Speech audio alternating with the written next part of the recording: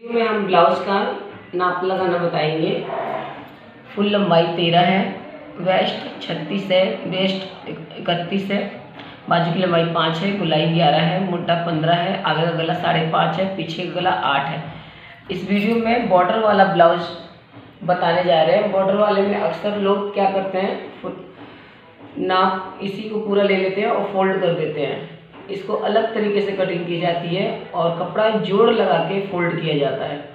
तो ये हम समझाएँगे इस वीडियो में कि किस तरीके से इसका नाप लगाया जाता है।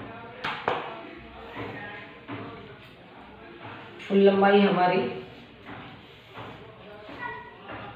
फुल लंबाई तेरह है तो तेरह में एक इंच प्लस करेंगे। आधा ये हमारा है, किनारी यहाँ से ज्वाइंट करके कपड़ा फोल्ड कर देंगे। यहाँ से जोड़ लगा के ये ऐसे फोल्ड होगा। और आधा इंच हमारा यहाँ कंधा जोड़ने में जाएगा। इसलिए हमने फुल लंबाई में एक इंच प्लस किया है।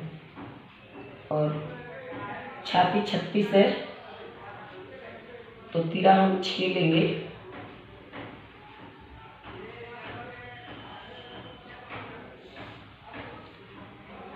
मोटा साढ़े छः लेंगे। Arm hole. और यहीं से चेस्ट का चौथा लेंगे। यहाँ भी हम देख लेंगे छः है कि नहीं? छः है यहाँ भी। अब छाती का चौथा लेंगे। छत्तीस है, नौ चौक छत्तीस, नौ आएगा। और आधा इंच प्लस करके साढ़े नौ लेंगे। उसके बाद दो इंच मार्जिन हमारा दो इंच मार्जिन। हमने कपड़ा उतने पे फोल्ड किया जितना हमें कपड़ा चाहिए। अपने माप के हिसाब से कपड़ा फोल्ड करोगे तो कपड़ा बच जाता है। एक्स्ट्रा वेस्ट नहीं होता है कट के। अब मोटे ही गुलाई दे देंगे। ये आप लोग स्केल से भी दे सकते हो, मैं ऐसे ही दे देती हूँ। अब पीछे का गला आठ है। आठ लेंगे पट्टी वाला गला जितने पे कटता है, उतने पे ही तैयार हो जाता है। नीचे की चौड़ाई हम तीन लेंगे और ऊपर ढाई इंच लेंगे।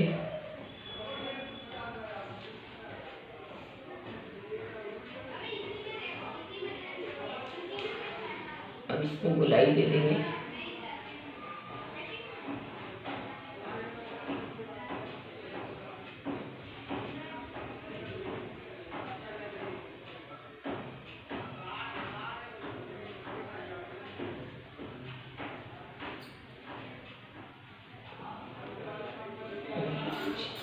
गोल गला में निशान लगा दिया। पट्टी वाला गला आठ इंच तैयार करना है तो आठ पे ही निशान लगा कटिंग करेंगे। वो आठ पे ही तैयार होगा, क्योंकि आधा इंच यहाँ कंधा दबता है। आधा इंच कंधा दबता है तो आधा इंच यहाँ हमारी पट्टी सिलने में चली जाती है तो आठ पे ही तैयार होगा। यही गला अगर बुकरम से तैयार करना हो तो साढ़े आठ इंच पे बुकरम पे गला कटिंग करेंगे और वो तैयार होकर आठ इंच पे आएगा। क्योंकि बुकरम पे कपड़ा वेस्ट मोड़ने में नहीं जाता है, जितने पे हम निशान लगाएँगे, उतने पे ही सिलाई करते हैं। बाजू की लंबाई पाँच है तो छः इंच हम लेंगे, आधा इंच की फोल्ड जाएगा फोल्ड करके मोरी बनाएँगे, और आधा इंच यहाँ सिलाई में जाएगा तो पाँच पे बाजू की लंबाई तैयार हो जाएगी। तो छः हमें चाहिए यहाँ पे, हमें बॉर्डर चाहिए ही बाजू पे। अब उसके बाद आगे का पल्ला हमारा, हमें आगे के पल्ले में ढाई इंच प्लस चाहिए। यहाँ हमें डेढ़ इंच ही मार्जिन मिल रहा है। एक इंच कम पड़ रहा है हमें तो यहाँ आगे का पल्ला ना निकाल के हम यहाँ पे आगे का पल्ला निकाल लेंगे। जो ये कपड़ा बच रहा है, इसको हम ऐसे फोल्ड करके आगे का पल्ला निकाल लेंगे।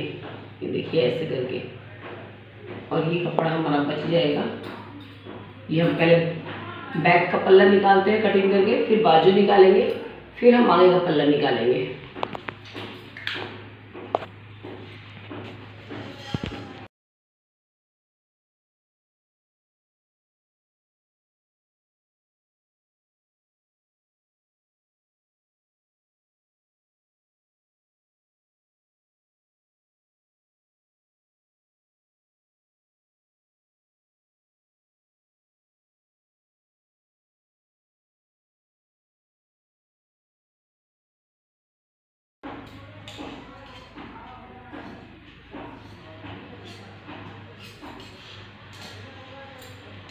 अब यहाँ से हम बाजू निकालेंगे। ये यहाँ डबल फोल्ड कर दिया हमने किनारे से किनारे बिल्कुल मिला देना है।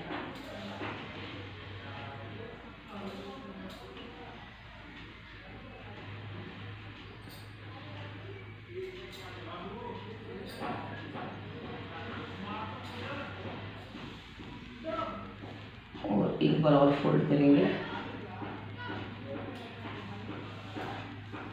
चार फोल्ड हो गए। अब हम छः इंच पे निशान लगाएँगे। ये बॉर्डर वाले ब्लाउज में जोड़ लगा के ही फोल्ड करना पड़ता है। आप चाहें कि इसी को डायरेक्ट आप फोल्ड कर दें तो बॉर्डर हमारा ख़त्म हो जाएगा, अंदर चला जाएगा बॉर्डर तो कोई फ़ायदा नहीं होगा बॉर्डर वाला ब्लाउज बनाने के लिए। तो इसलिए बॉर्डर वाले ब्लाउज में प्लस करके ही फोल्ड किया जाता है। अब यहाँ से हम ढाई इंच डाउन करेंगे।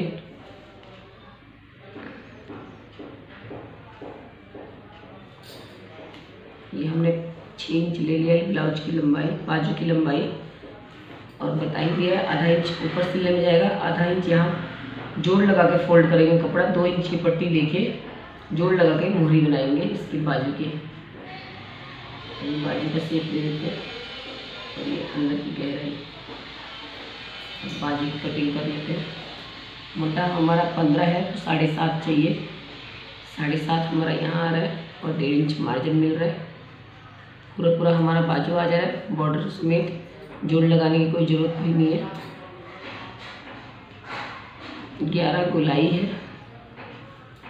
साढ़े पाँच पे और डेढ़ इंच मार्जिन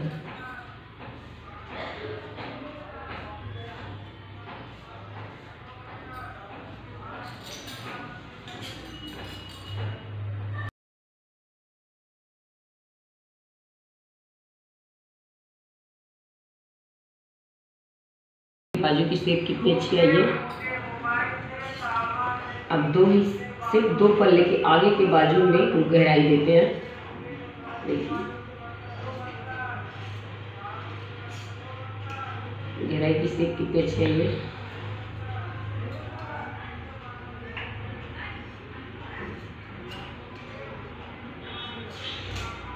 अब इसमें हमें कांटा लगाने की ज़रूरत नहीं है, उल्टे सीधे का कपड़ा ही ऐसा है, उल्टा सीधा पता चलने वाला। ये हमारा सीधा है, ये उल्टा है।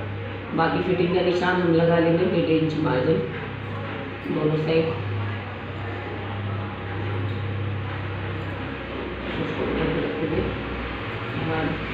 बैक और बाजू हो गया। अब फ्रंट पल्ला निकालते हैं। जैसा कि मैंने पहले ही बताया था फ्रंट हम ऐसे निकालेंगे।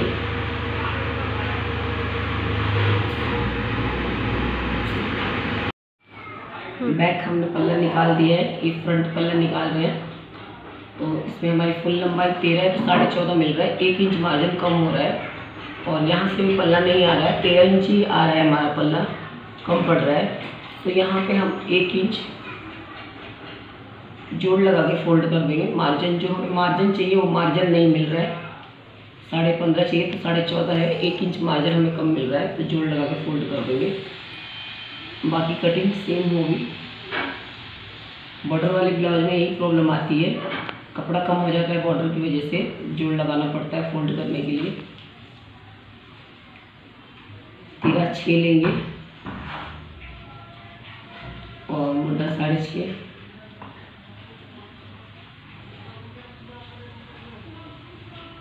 इसी चेस्ट का नाप लगाएँगे। छत्तीस है चेस्ट छाती तो नौ चौक छत्तीस आधा इंच प्लस करके।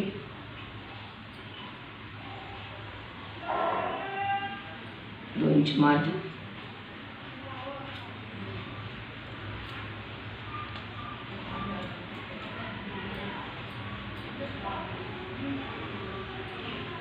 नीचे कमर पे भी नौ चौक छत्तीस। छाती का ही लगाते हैं, क्योंकि बाकी यहाँ हमारा डॉट में दब जाता है, सवा सवा इंच। तो यहाँ कमर के हिसाब से नहीं लगाते, नीचे। छाती का ही नाप लगाते हैं। अब गला हमारा है साढ़े पाँच आगे का। और नीचे से चौड़ाई साढ़े तीन लेंगे। ऊपर से ढाई इंच।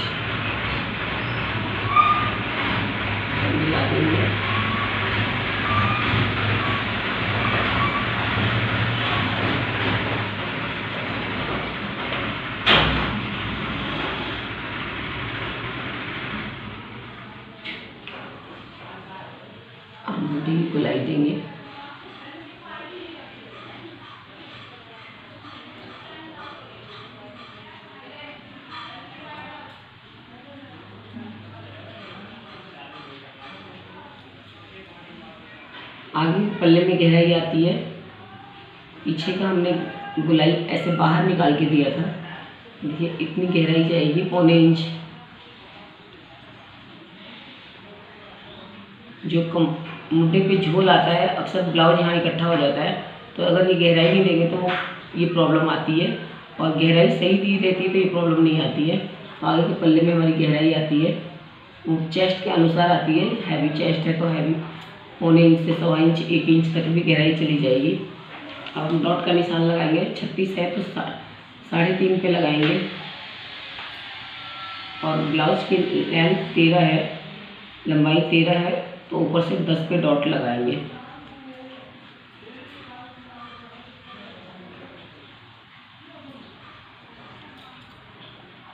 और यहाँ से दो दो इंच की दूरी पे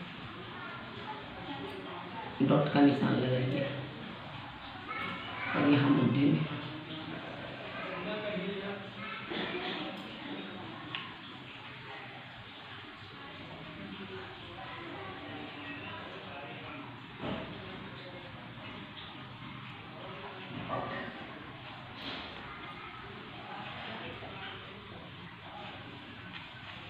देखिए कितना गोल शेप आया अब इसकी कटिंग हम करेंगे। गला हम एक साथ निकाल देते हैं। ये पट्टी हमारे काम आ जाएगी, पट्टी लगाने की ब्लाउज में। मैंने पिछली वीडियो में भी समझाया है कि गले हम आगे पीछे एक साथ निकाले, एक बार यहाँ पट्टी काम आ जाती है ये, जो दो इंच और ढाई इंच की हम पट्टी लगाते हैं, हुक और आई के लिए, उसमें ये काम आ जाता है। कपड़ा ना बचा रहे तो कपड़ा तरीके से बचाने का तरीका है और कपड़ा कम रहे हालाँकि इसमें तो कपड़ा है, जिस कपड़े में ना रहता है, कपड़ा बचता नहीं है। तो इस तरीके से ये कपड़े यूज़ कर लेते हैं इक्वल काट के। अगर यही पल्ला आप बीच में कट कर देते हैं, यहाँ से आप कट कर दोगे तो ये टुकड़े टुकड़े हो जाएँगे। इसीलिए आगे पीछे गला दोनों एक साथ निकाला जाता है।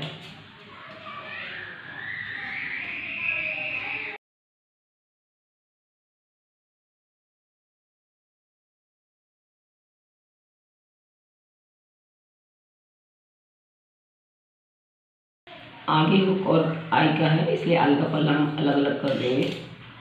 और इस निशान को दूसरे पल्ले पे ऐसे यहाँ पे छाप देंगे।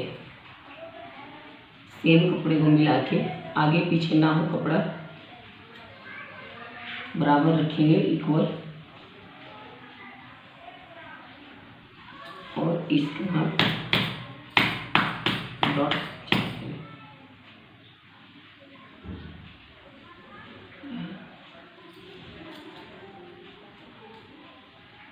निशान को डार्क कर देंगे।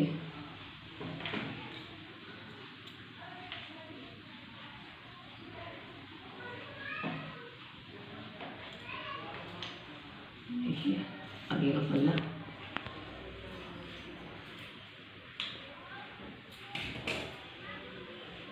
ये हमारी बाजू है। फ्रंट पल्ला है, बाजू हो गई। और ये हमारा बैक का पल्ला हो गया। ये आगे का पल्ला है, ये गला है, ये रहा डॉट ये आगे का पल्ला है। इसकी हम लंबाई ले लेते हैं। नौ इंच है। नौ इंच की हम पट्टी निकालेंगे, एक ढाई इंच, एक तीन इंच। ये जो हमने निकाला है इक्वल मुठ्ठा काटा है इक्वल हमने गला काटा है, उसमें से एक पट्टियाँ निकली हैं। इन्हीं में से हम पट्टी लगाएँगे तो एक पट्टी हमारी तीन इंच की लगती है। ये आई पट्टी है जो एक्स्ट्रा निकाल के सिलाई की जाती है।